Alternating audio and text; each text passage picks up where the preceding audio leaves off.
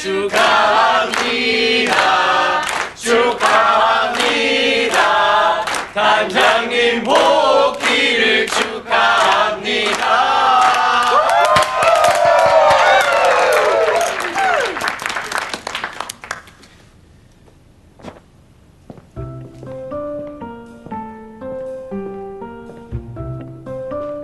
아니 무슨 말이라도 좀 하고 가시지. 아 우리끼리 먹는 모습만 봐도 배가 부르시다 뭐 그런 아니 저렇게 가면 우리가 먹는 게 보이냐고. 밀리신 업무도 많고요. 아니 우리가 단장님 복귀시키려고 얼마나 노력들을 했는데 진짜 성격 별나. 죄송합니다. 어. 아, 아. 그런 거 아니고 영수 씨. 난 영수 씨가 참 동료라고 생각해서 그런 거지. 영수 씨가 여기 있는 거 까먹고 그런 거 아니다. 아유 축하드리겠습니다 사장님.